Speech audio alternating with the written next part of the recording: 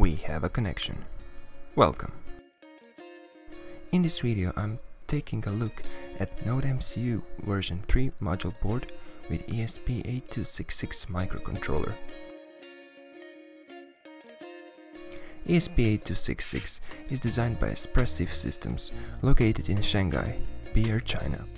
It offers a Wi-Fi solution that can be used for example turning the lights on and off from a PC and smartphone or existing Wi-Fi connection, or collecting data from bunch of different sensors connected to the module board.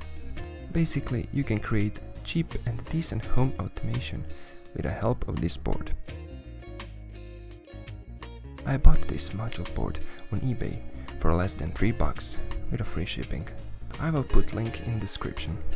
This Node MCU comes with built-in micro USB connector with a voltage 3.3 volts, powering the board and data transmission.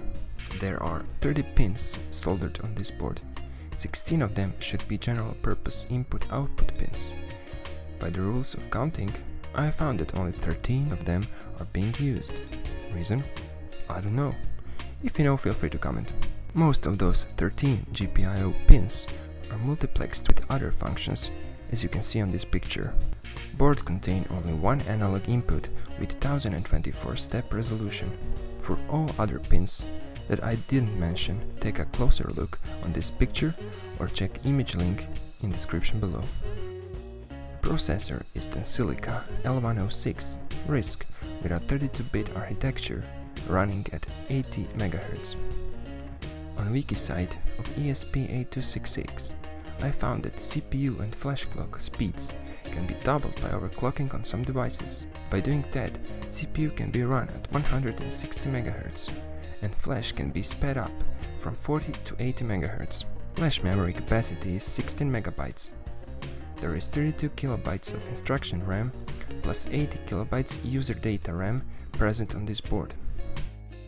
One blue LED is soldered near the antenna and there are two buttons surrounding micro USB connector, one for reset and another for flash.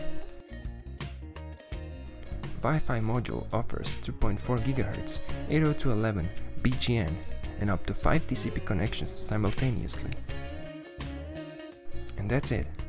I'm planning to make some projects with this board, so expect more videos with NodeMCU in the future. I hope you found some new information in this video. If you enjoyed this video, don't forget to like it, and if you want to see more content like this, subscribe. Good luck!